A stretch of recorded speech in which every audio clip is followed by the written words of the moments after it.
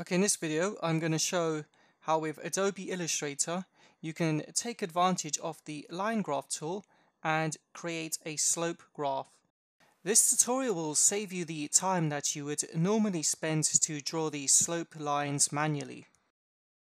And slope graphs in general are great for comparing the before and the after changes in quantities between two time periods and you can see that in this example I have here and here I'm going to show you how we can create this chart here. So first off I'm going to go to file new and I'm going to create a new document. Don't worry about the settings too much just make sure we have a document with enough canvas space. And I want you to go over to the toolbar here and select the line graph tool.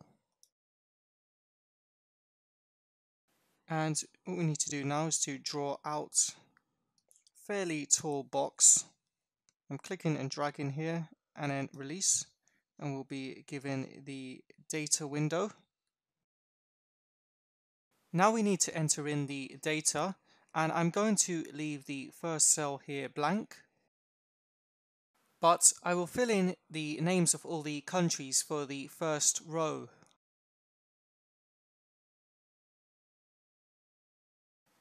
In the first column, write in the two years you're comparing, but make sure to include an apostrophe at the beginning of the year label to tell Illustrator that this is a name label. Otherwise, Illustrator will consider this to be a data value. Afterwards, fill in the rest of the data.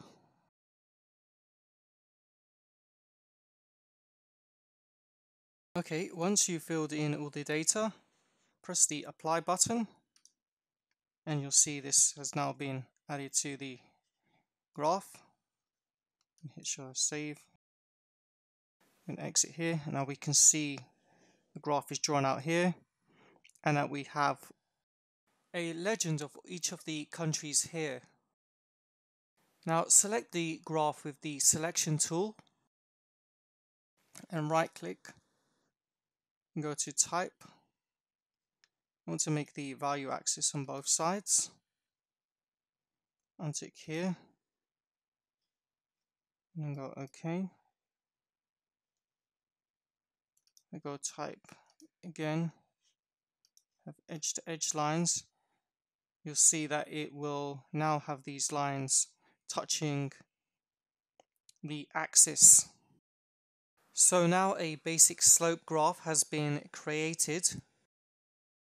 Unfortunately Illustrator doesn't have the option to directly label the lines with either the values or the name labels. So if you want to add these on, you'll have to do it manually. So now I will ungroup the graph so we can tweak and style it. So I'm going to go object ungroup and go yes. Or you can use one of the keyboard shortcuts which on Mac is Shift Command G or Shift Control G on Windows. I'm going to make this a bit smaller and hold shift to keep it uniform.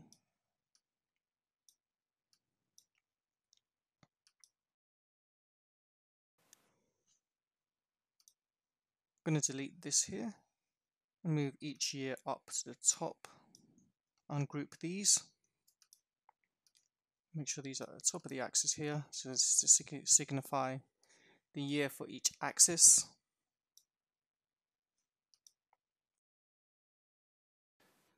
Now we need to figure out which line corresponds to which country. And the way to do this is you have to click onto one of the lines here. You see at the moment they're all grouped together. If you ungroup these,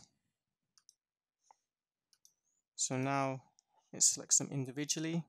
If I change the color, you can see this a bit more clearly. So I'm going to change the color of the layer something a bit more bright. So you can see this highlighted now. So you see here this line corresponds to here up here for Finland. So I'm going to take this label here for Finland. I'm going to ungroup this again. So I can select this individually and I'm going to move this down here so I know this is where Finland is and then I'll repeat the process for the other countries as well.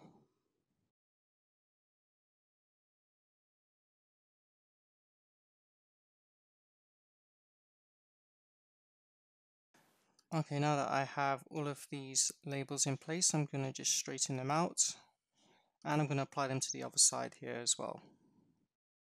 And to copy them over, I'm holding down the Alt key and clicking and dragging them over to the other side.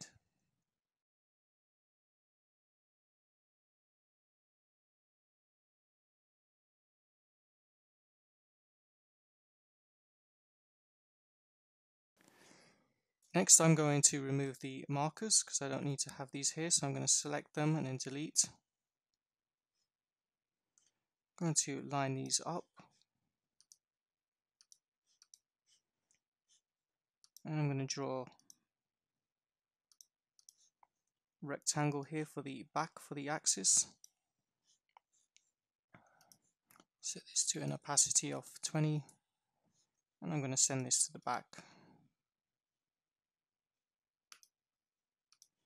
Next I'm going to select all these lines for the slope and I'm going to make them black. I'm going to remove the axis because we don't need these anymore.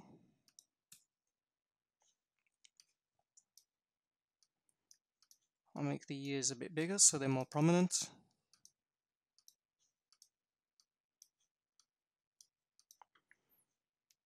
And then finally, I'll add in the data values for each of these.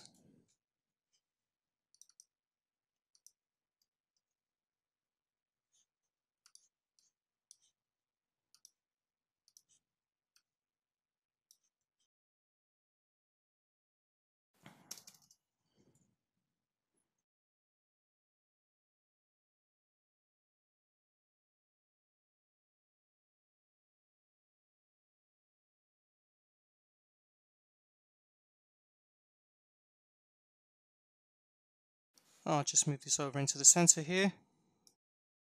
So there you go, that's how to more efficiently draw a slope graph in Adobe Illustrator. So I hope you found this video useful.